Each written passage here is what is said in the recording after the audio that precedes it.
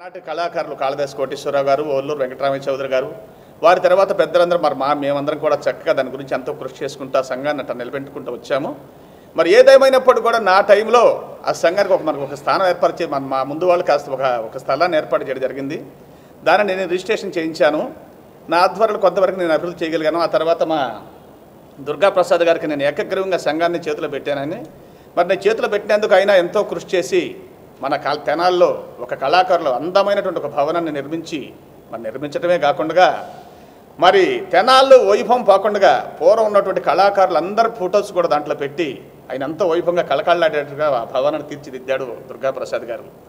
మరి ఆ తర్వాత మరి ఏదో మరి కొంతమంది ఏదో మరి స్వప్రయోజనాల కోసం కానీ ఏదైనా కానీ మొత్తానికి ఆయన మీద ఏదో రకరకాలుగా మరి అది వచ్చింది ఏదో మరి సహజంగా పొలిటికల్ అంటే వస్తుంటుంది మరి ఏ రకంగా వచ్చిందో తెలియదు మరి ఆ తర్వాత ఏదైనా ఇంక మరి ఈయనకంటే ఇంకేదైనా మంచి చేస్తారనే ఉద్దేశంతో మరి మరి మన మిత్రులందరూ కూడా చేస్తుంటారని చెప్పేసి అనుకుంటున్నాను.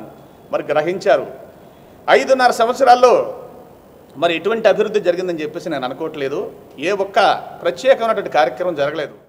మరి ఐదున్నర సంవత్సరాలు ఒక్క కార్యక్రమం నా కంటితో చూసిన దాఖలు మధ్య ఎందుకంటే యథార్థం మాట్లాడుతున్నాను నేను. ఒక్క కార్యక్రమం నేను చూడలేదు. మరి ఆ భవనం ఎంతో కలకల్లాడుతూ మరి రెండు వందల మూడు వందల కుర్చీలు వేసుకొని సరదాగా మరి కళాకారులను వచ్చి కూర్చొని నిండు మరి ఎటువంటి కార్యక్రమాలు వచ్చి అక్కడ జరుగుతుండవి మరి ఇక నాలుగైదు నెలల క్రితం వెళ్ళి మరి ఆ భవనాన్ని చూస్తే నాకు చాలా బాధ అనిపించింది. చాలా దుర్వ దుర్వాసన రావటం. మరి ఆ కరె కరెంటు కూడా మరి పీకేశారో నాకు తెలియదు. మరి కరెక్ట్గా తెలియకుండా మాట్లాడకూడదు. అదే ఆ దుస్థితి కనిపించింది. మరి ఆ వాచ్మెన్గా ఉన్నటువంటి వాడు వచ్చేసి ఆ కళాకారుల మధ్యలో కూర్చొని కాపురం చేసేటటువంటి పరిస్థితి కనిపిస్తూ ఉంది. అది జరుగుతా అట్లా ఆ పరిస్థితులు నాకు అంటబడ్డాయి. మరి దాంతో చెల్లించి ఆ కళాకారుల భవనాన్ని మళ్ళీ జాగ్రత్తగా తీసుకురావాలని చెప్పేసి అంటే దానికి సమర్థుడు దుర్గా ప్రసాద్ గారు అని చెప్పేసి నేను నిర్ణయించుకొని నేను సంపూర్ణంగా ఆయన ప్రెసిడెంట్ కావాలని చెప్పేసి నేను మనస్ఫూర్తిగా ఆలోచించి కోరుకుంటున్నాను. దయచేసి నేనే కాదు ప్రతి కళాకారుడు కూడా ఎవరి ఎవరు ఉన్నటువంటి సమయంలో కళాకారుల సంఘం కళకళలాడుతుందో కళాకారులకు మంచి జరుగుతుందో ఆలోచించుకో ప్రతి కళాకారుడు ఆలోచించుకోవాల్సినటువంటి సమయం వచ్చింది కాబట్టి మనిషి ఏదో చిరంజీవులు చిన్నవాళ్ళు తెలుసో తెలియకో ఇప్పుడు ఎందుకంటే ఇప్పుడు వాళ్ళ పేపర్ చూశాను. సంఘాన్ని భ్రష్టు పట్టించారని చెప్పేసి వచ్చినటువంటి మాట కరెక్ట్గా చెప్పాడు కదా తర్వాత మళ్ళీ అదే సపోర్ట్ చేస్తామనేటువంటి విషయం అనేటప్పటికీ మరి అది తెలిసి తెలియక మరి ఆ చిర ఆ- చిరంజీవికి ఎందుకంటే మరి ఇక్కడ విషయాలు తెలియకపోవచ్చు. అబ్బాయి తెలిసి చిన్న కుర్రోడు కాబట్టి తెలియకుండా ఉండొచ్చు తప్పలేదు.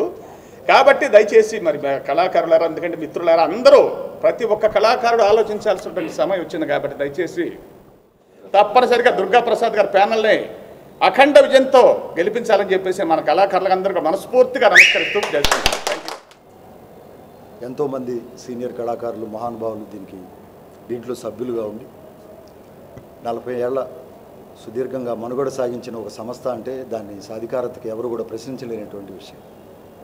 ఎంతోమంది పనిచేసి ఈ స్థాయికి తీసుకొచ్చిన సంఘాన్ని సమాజం దృష్టిలో ఏదో వివాదాస్పద వాక్య వ్యాఖ్యలతోటి దానికి ఉన్న గౌరవాన్ని తగ్గించడం అనేది అది వివాదం చేయటం అనేది అది సభ్యత కాదు భావ్యం కూడా కాదు.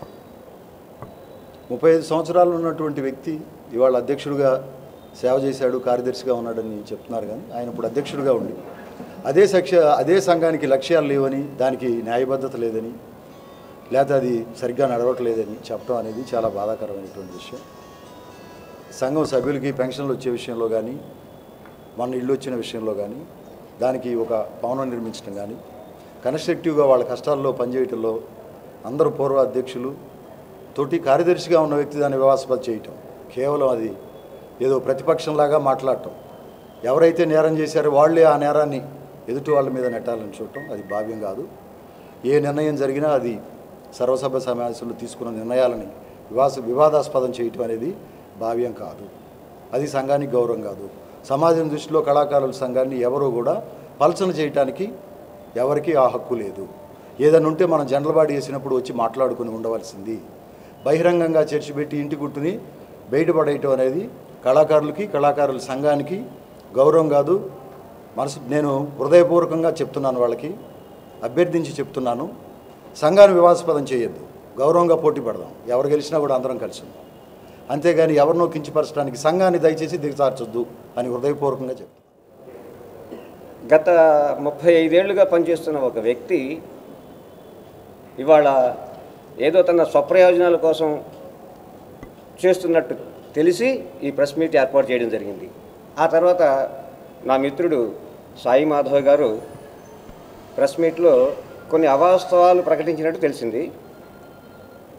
సాయి గారికి విజ్ఞప్తి చేసేది ఏంటంటే మీరు వాస్తవాలు తెలుసుకొని మాట్లాడండి.